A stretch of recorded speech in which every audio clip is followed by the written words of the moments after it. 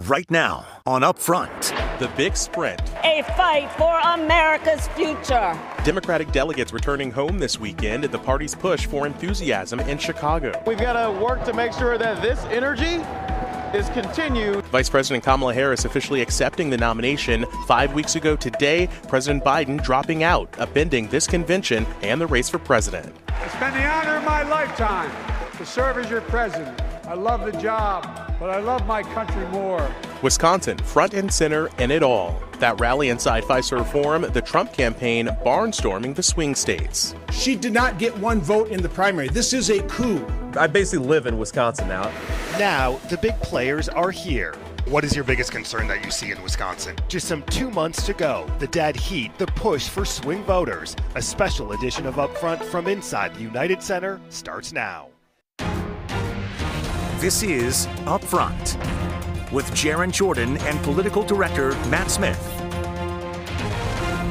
Hi, everyone. Thanks for joining us from the floor of the convention at the Democratic National Convention here in Chicago. Now 72 days until Election Day. Wisconsin's Democratic delegates returning home this weekend. Both conventions now in the books the Republican National Convention in Milwaukee and the Democrats here in Chicago. The capstone Thursday night, just weeks after President Biden dropped out, Vice President Kamala Harris officially accepting her party's nomination for president. And like always, Wisconsin now front and center.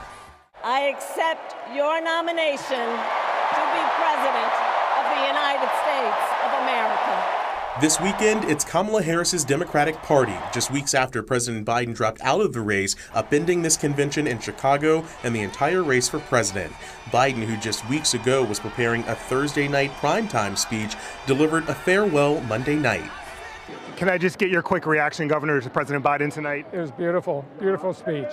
It, it, it, was a good healing way to heal and a good way to go forward. I know that you have known and been close with Joe Biden for a very long time, both uh, serving in Washington, D.C. You told us before that uh, you were part of kind of that transition and the shakeup just a month ago. What do you make of the reception that he got last night and what you saw uh, on stage? Listen, Joe Biden was beloved by everybody, no matter where they were on determining that he needed to take to step back.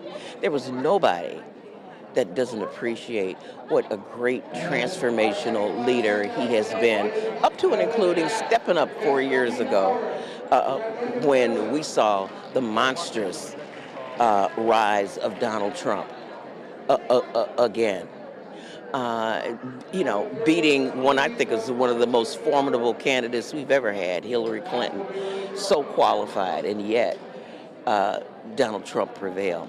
The week, a delicate balance, Democrats with a nod to President Biden, yet quickly pivoting to Election Day and Kamala Harris. Listen, you're in tune with black voters in Milwaukee, you're in tune with young voters. What's happened over the past four weeks? Yeah, over the past four weeks, there has been a heightened level of excitement. Uh, places that I've gone that I traditionally haven't had political conversations, uh, be it the locker room at the gym or be it, you know, people who've texted me uh, about how to get involved, people that didn't even text me when I was running what do you do after the convention is over this week between now and November 5th? What is what you know what what's your priority? Well, my first priority you'll probably get a couple days rest, and uh, uh, then uh, you know start canvassing and hitting the doors. You can get in here too. You can hop in here too. Yeah. we came to the assembly together, so uh, now she's the dean. Yeah, and la- so. last last convention we went to together was oh. 2000. We have a story we'll tell you off camera. Okay. Uh, way off camera.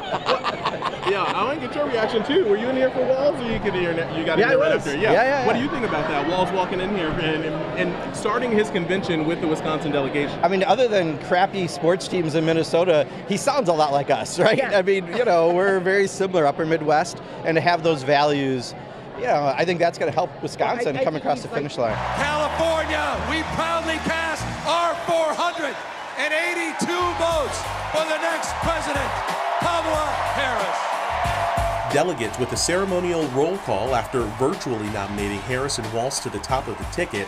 Harris watching from Milwaukee and addressing the convention virtually before officially accepting the party's nomination Thursday night here at the convention.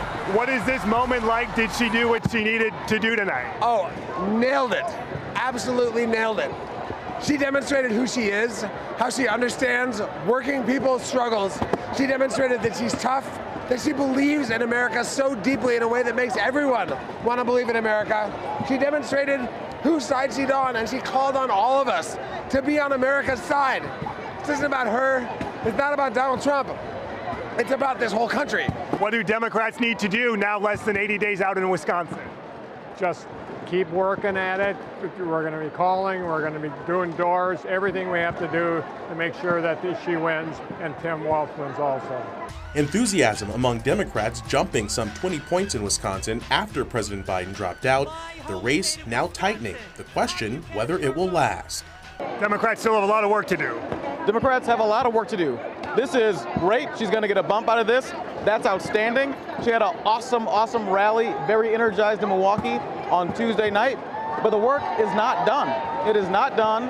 Donald Trump has won the presidency before. We cannot take our foot off the pedal. We'll continue to do that from this leading into the debate uh, next month.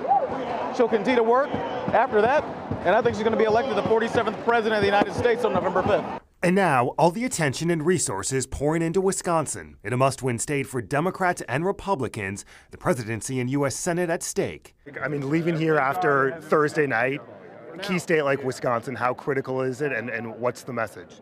It's vital. I mean, first of all, the destiny of the Senate with Tammy Baldwin, um, we, we really need a person like her there. I mean, you guys have a many ways we're Jersey jealous. You have a lot of things. You're the, one of the most important swing states in the country. You have one of the most important Senate races in the country. So your power at the polls is bigger than a lot of other states. So I, I've been out there once. I was out there a few weeks ago. I'm going to be out there many times again. Compare the energy that's been in the United Center compared to what Democrats were feeling four weeks ago. Look, it's it's there is a definite difference that's I mean, it's like you're at a whole new level of energy, and it's not a reflective of how great of a president uh, President Biden was, but he showed that he has this keen understanding of where the country was, and did a courageous George Washington-like thing. So this is, folks are saying it. We haven't had this energy uh, since really the 2008 uh, Obama years. Um, but at the end of the day, this is good, but it's still not uh, the finish line. We got to keep on going, keep the foot on the gas. David Plouffe, who managed former President Barack Obama's campaign, now a top advisor on the Harris team, and with us one on one in Chicago. We're now less than 80 days out. What do you see as, as the biggest challenge from now until Election Day for the campaign and what you're doing? Well, first of all, there's a lot of enthusiasm for Kamala Harris, which is great because that's volunteers in Wisconsin, Pennsylvania, all the states knocking on doors. But a lot of people don't know her, her biography, her values, her upbringing. We got to fill in those blanks we got to fill in what she wants to do as president and contrast that with what Donald Trump would do as president. So it's a lot of business to get done in 11 weeks, and early voting starts in most battleground states in a matter of weeks. Why were you brought into the campaign? Well, this is an unprecedented situation. Uh, you basically got to build uh, and win a presidential campaign in less than 100 days. So I've known Kamala Harris a long time, love her, trust her. I know the campaign team well. So they're just looking to add some arms and legs on top of what is already a great campaign. Republicans have criticized her as well for not doing any interviews, any news conferences since the rollout. Why is that? Is that is that a strategy? Well, first of all, she's been talking to the reporters traveling with her, taking questions. She'll do more of that. She committed to doing a sit-down interview of some sort by the by the end of the month. She'll do that. I've run presidential campaigns, so here's by the end of this campaign, Kamala Harris will have done debates, speeches, town halls, interviews, uh, discussions with influencers, a lot of interviews with local stations like your own. What is your biggest concern that you see in Wisconsin in terms of winning the state? As you know, 10, 20, 30,000 at best voters right. are going to decide that. Well, that's what's the biggest concern. It's just going to be close. Yeah. So I think Kamala Harris has the enthusiasm required to build the kind of organization to win a close state. The Wisconsin State Party under Ben Wikler is a great organizing machine. So there's good apparatus there. The folks in that state have won a lot of close elections up and down the ballot over the last few years. So uh, we're very confident in that. But but in this election, you know, Wisconsin's not going to be decided by more than a couple points. You know, unless Donald Trump really closes poorly, I still think Kamala Harris has some upside. Uh, that's you know even greater than where we see the race today. But at the end of the day, Wisconsin, Michigan, Pennsylvania, Nevada, North Carolina, uh, Georgia, they're all going to be super close. And so Wisconsin was tight as a tick in 2016. It was in 2020. Mm-hmm. We expect a similar race, and so we're building a campaign to win that kind of election. Can she win the White House without winning Wisconsin? Sure, she can, but it's very hard. I mean, I think Wisconsin and Michigan are two states you definitely want to go blue. You want to add Pennsylvania to that in the second congressional district, then you're there. But Georgia, North Carolina, Nevada, Arizona, the reason it's so important, because I do think it's true a month ago in the Biden Trump race at that point, post first debate. Yeah. This was really just down to the blue wall. Kamala Harris has brought back in those western and, and southern states. The Sun Belt states. You just very, came out and said that. Very important. Okay? You think that's winnable? Of course. They're all very close right now.